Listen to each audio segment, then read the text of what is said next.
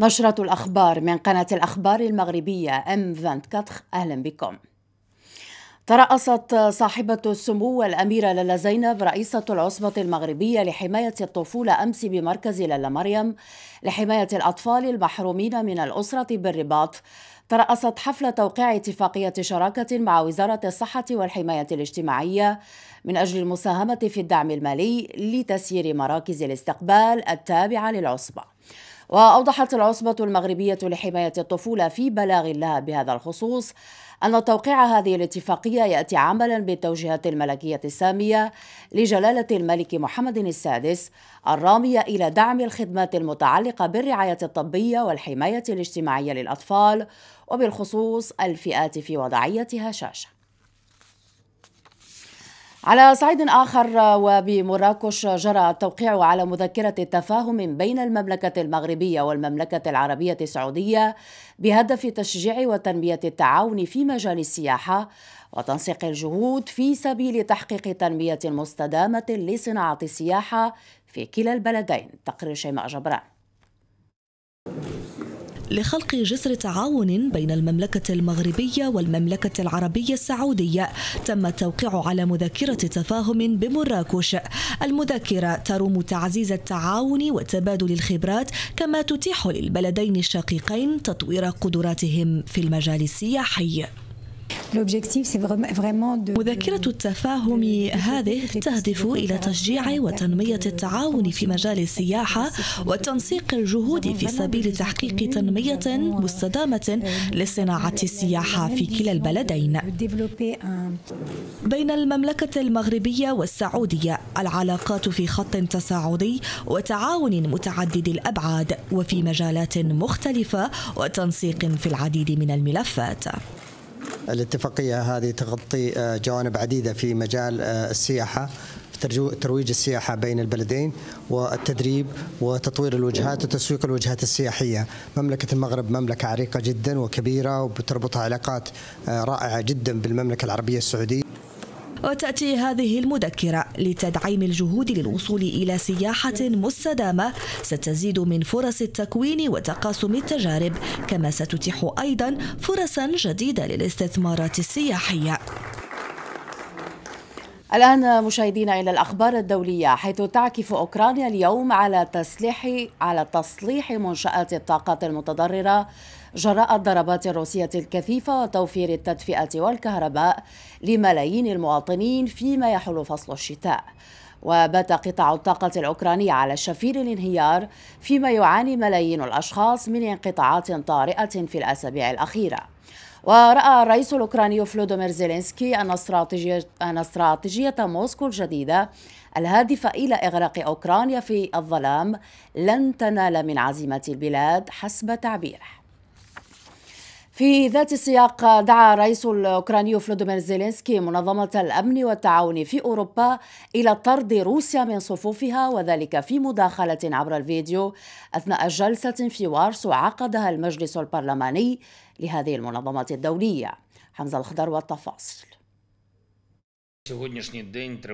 في خطوة تروم عزل الروس أكثر وتضييق خناق المجتمع الدولي حول جيد موسكو. دعا الرئيس الأوكراني فولوديمير زيلينسكي منظمة الأمن والتعاون في أوروبا إلى طرد روسيا من صفوفها. الرئيس الأوكراني وفي مداخلة له عبر الفيديو أثناء جلسة في وارسو تساءل لماذا تحديدا لا تزال روسيا حتى بعد تسعة أشهر من الحرب المستمرة عضوا في مجلسكم البرلماني. زيلينسكي شدد على أن النزاع العسكري بين روسيا وأوكرانيا هو اختبار لأي منظمة دولية. وكان البرلمان الأوروبي قد صوت على نص بخصوص الحرب الروسية الأوكرانية يهدف إلى عزل روسيا دوليا داعيا الدول السبع والعشرين في الاتحاد الأوروبي إلى أن تحذو حذوه. في شأن دولي دائما أعلن البرلمان الأوروبي تقديم حزمة مساعدات مالية كدعم مخصص من الاتحاد الأوروبي لأوكرانيا وذلك بقيمة 18 مليار يورو أي ما يعادل 18.7 مليار دولار. تقرير سما العمراني. البرلمان الأوروبي وافق على تخصيص حزمة مساعدات لأوكرانيا بقيمة 18 مليار يورو اقترحتها المفوضية الأوروبية في وقت سابق من هذا الشهر. رئيسة المفوضية الأوروبية أرسولا فوندرلاين أبلغت الرئيس الأوكراني زيلينسكي في وقت سابق من الشهر الجاري بأنها ستناقش خلال هذا الأسبوع خطة لدعم أوكرانيا وذلك خلال سنة 2023 بذات القيمة المالية. وأكد الطرفان على أهمية ضمان التمويل المنتظم لاحتياجات الدولة الأساسية بغية دعم إصلاحات أوكرانيا ومسارها نحو عضوية الاتحاد الأوروبي. الأوروبي وتلقت أوكرانيا مساعدات مالية وعسكرية من الدول الغربية وعلى رأسها الولايات المتحدة وبريطانيا ودول أوروبية أخرى تقدر بالمليارات منذ بدء العملية العسكرية الروسية الخاصة في أوكرانيا. دوليا دائما أكد الأمين العام لحلف الشمال الأطلسي يانس ستولتنبرغ أن ملف دعم أوكرانيا يعد مهمة عاجلة وفورية للناتو مضيفا أن الحلفاء سيزودون العاصمة كييف بأحدث أنظمة الدفاع الجوي. نتابع. جدد حلف شمال الأطلسي الناتو دعمه لأوكرانيا أثناء نزاعها مع روسيا والذي يندرج في شهره التاسع. الأمين العام للناتو يانيس ستولتنبرغ أكد أن المهمة الأكثر إلحاحا والفورية هي التركيز على تقديم المساعدة لأوكرانيا وقال إن دعم الغرب للقوات الأوكرانية عسكريا يعد السبيل الوحيد للوصول إلى مفاوضات السلام.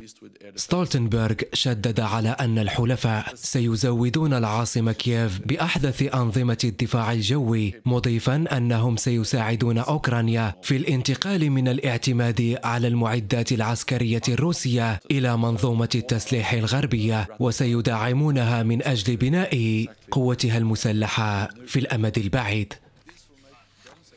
على صعيد آخر أعلن رئيس وزراء المجر فيكتور أوربان أن برلمان بلاده سيصادق على انضمام فنلندا والسويد إلى حلف الشمال الأطلسي العام المقبل علما بأن ملف انضمام البلدين لا يزال معلقا بانتظار مصادقة بودابست وأنقرة. نتابع التقرير حمزة الخطر المجر ستصادق العام المقبل على انضمام السويد وفنلندا إلى حلف شمال الأطلسي. ذلك ما أعلنه رئيس وزراء المجر فيكتور أوربان والذي صرح على هامش قمة لمجموعة فيشيغراد في سلوفاكيا قائلا كما سبق أن أبلغنا السويد وفنلندا تدعم المجر انضمام هذين البلدين إلى حلف شمال الأطلسي. سيكون الأمر مدرجا ضمن جدول أعمال أول دورة للبرلمان العام المقبل. 28 دولة منضوية في حلف شمال الأطلسي سبق لها أن صدقت على انضمام السويد وفنلندا إلى التكتل الدفاعي. وبطلبهما الانضمام إلى حلف شمال الأطلسي تخلت الدولتان عن سياسة عدم الانحياز التي كانتا تعتمدانها منذ عقود بعدما بدأت الحرب الروسية الأوكرانية. ويتطلب انضمام دول جديدة إلى التكتل الدفاعي إجماع الدول الأعضاء. على صعيد آخر أعلن المالك الجديد لموقع تويتر إيلون ماسك في تغريدة أنه قرر بناء على نتيجة استفتاء أجراه عبر المنصة واستمر 24 ساعة.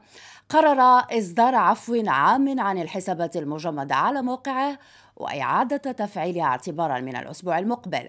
تابع تقرير حمزة الخطر الشعب قال كلمته العفو العام يبدأ الأسبوع المقبل. تلك كانت تغريدة المالك الجديد لمنصة تويتر إيلون ماسك ردا منه على تغريدة سابقة كان قد نشرها وطلب فيها من المغردين أن يجيبوا في استفتاء على سؤال هل يفترض بتويتر أن يمنح عفوا عاما عن الحسابات المجمدة بشرط ألا تكون قد انتهكت القانون أو أرسلت بريدا عشوائيا فاضحا؟ 72.4% من المغردين ردوا على سؤال ماسك بنعم فيما أجاب 27.6% منهم بلا. أغنى رجل في العالم ومالك تسلا وسبايس إكس قرر إعادة تفعيل حساب ترامب بناء على استفتاء مماثل أجراه وأتت نتيجته لمصلحة الرئيس السابق. ويعتبر المالك الجديد لتويتر أن ضبط المحتوى هو أمر مقيد جدا لكن رؤيته المطلقة لحرية التعبير تثير مخاوف من زيادة الإساءات على الشبكة الاجتماعية. الآن مشاهدينا إلى فقرة أخبار المونديال التي نطلعكم من خلالها على جميع تفاصيل هذا الحدث الكروي العالمي. مع الزميل عثمان الطاهري. عثمان مرحبا بك. مرحبا فاطمة وبك وبكل المشاهدين الكرام. أهلا أهلا وسهلا. اذا المنتخب الوطني لكرة القدم يواجه نعم. الأحد المقبل منتخب بلجيكا. التحضيرات لهذه المباراة عثمان كيف تجري؟ خصوصا وأنه تم الحديث في الساعات الأخيرة عن بعض الإصابات الخفيفة لدى بعض اللاعبين. ما مدى صحة هذه الأخبار؟ أكيد فاطمة ما بعد مباراة آه، كرواتيا؟ انطلقت الأسود بالأمس في التحضير لمباراة بلجيكا. أكيد التحضير سيكون فيه نوع من التركيز. حصة الأمس ركز من خلالها الطاقم التقني لمنتخبنا الوطني تحت قيادة وليد الرقراقي على بعض الرتوشات من أجل إزالة مثلا العياء ما بعد مباراة كرواتيا. إصابة نصير مزراوي حسب المصادر وحسب أيضا التصريح الذي سنتابعه لعبد الرزاق هيفتي طبيب المنتخب الوطني المغربي. تقلق شيئا ما الأسود لكن أشرف أشرف حكيمي إصابته ليست مقلقة ونتمنى آه، آه، مشاركة آه، طبعا أشرف حكيمي ولم لا مزراوي لأنه عنصران همان. في توليفات منتخبنا الوطني. أكيد مشاهدينا الكرام المنتخب الوطني المغربي أجرى الحصة التدريبية الأولى قصد مواجهة منتخب بلجيكا. الحصة كانت من أجل إزالة العياء وأيضا الوقوف على بعض الرتوشات آه، قصد طبعا آه، آه، التركيز والتحضير لمباراة المنتخب البلجيكي. سنتابع هذه الصور مع تصريح عبد الرزاق هيفتي طبيب المنتخب. الوطني المغربي ونعود لكم. المباراة الأخرى ضد كرواتيا. تصاب على مستوى الفلون ديالو الفلون غوش اللي ايسر واللي قمنا له بفحوصات ولحد الآن ما يمكنناش آه، نعرفوا واش غيشارك في المقابلات الجاية ولا لا. غيكون عندنا آه، فحوصات أخرى غدار له ومنها إن شاء الله غدا ولا من بعد غدا تكون عندنا تكون عندنا النتيجة. فيما يخص اللاعب أشرف اللاعب أشرف كيف شفتوا في واحد le sprint حس بواحد الألم آه، في الفخذ ديالو وكمل المباراة ديالو. الفحوصات ديالو ما ما بينتش شي حاجة ما بينتش شي حاجة صعيبه c'est une blessure légère ولكن في هذا الميدان ديال هذا الميدان ديال الرياضة خاصنا نكونوا enfin faire très très attention غدا عاود نعاودوا له فحوصات أخرى وعاد نقروا باقي اللاعبين الأخرين الحمد لله كلهم في صحة جيدة ونتمناو باش تكون المقابلة الجاية مزيانة والنتيجة إن شاء الله تكون في صالحنا. عبد الرزاق هيفتي طبيب المنتخب الوطني المغربي في حديثه عن أشرف حكيمي وأيضا نصير مزراوي خلال التدريبات التدريبات الخاصة بأسود الأطلس لمباراة منتخب بلجيكا. بلجيكا مشاهدينا الكرام وقصد مواجهة أسود الأطلس خاض المنتخب البلجيكي بدوره الحصة التدريبية الأولى له ما بعد مباراة كندا. شهدت حضور مهاجم إنتر لوكاكو وعبر الإسباني روبرتو مارتينيز مدرب المنتخب البلجيكي عن سعادته الكبيرة بعودة روميلو لوكاكو إلى التدريبات الجماعية تحضيرا لمباراة المنتخب المغربي الأحد المقبل برسم الجولة الثانية من منافسات المجموعة السادسة لنهائيات كأس العالم قطر 2022 مارتينيز قال بأنه روميرو آه، لوكاكو آه، أو روميلو لوكاكو تدرب مع المجموعة ويتمنى مشاركته مع المنتخب البلجيكي آه، إلا أن طبعا مارتينيز تحدث تحفظ آه، حول هذه النقطة حول مشاركة آه، روميلو آه، لوكاكو فاطمة الذي يعتبر من بين أبرز الأسماء في تشكيلة المنتخب البلجيكي. نتمنى ألا يكون.